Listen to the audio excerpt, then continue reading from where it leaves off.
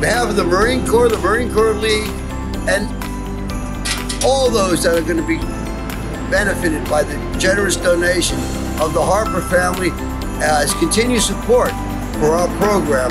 We cannot thank you enough, and we wish the Harpers the very best for their continued support. We thank you.